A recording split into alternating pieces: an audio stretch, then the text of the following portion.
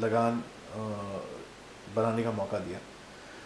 तो I owe it to him because he stood by me against all odds but unfortunately मैं कभी भी एक एक्टर के लिए कहानी नहीं लिख सकता। मेरे लिए कहानी पहले आती है और फिर कहानी में कौन सूट करता है। That is the route I like to take because it's it's slightly more big of course जो भी फ़िल्म नॉमिनेट होती है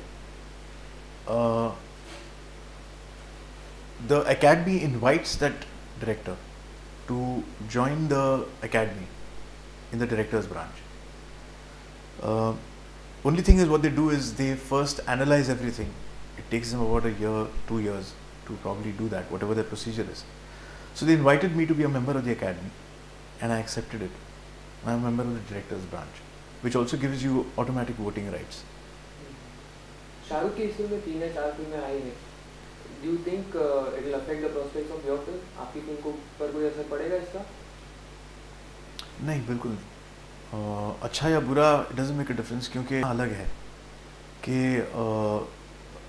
एक बार आप थिएटर में आ जाएँगे तो उसके बाद it is the film that will speak and I think people will come to the theatre because of Shahrukh he'll bring in the crowds. But once you come in, then it's, the film should hold. so it, previous films don't make a difference according to me आपकी target audience क्या होगी इस film के लिए all indians Will you please tell us once again all Indians have a target audience because the questions are not going to be here.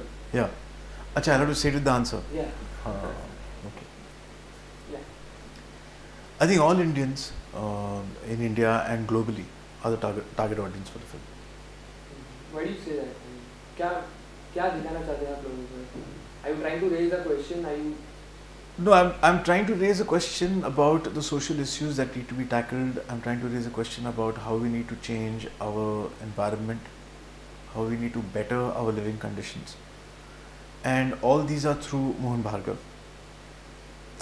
Uh, so this is an issue which needs to be addressed to every Indian, be it in India or be it uh, overseas. So it is for everyone. Uh, thanks a lot, Pushpesh. Yeah.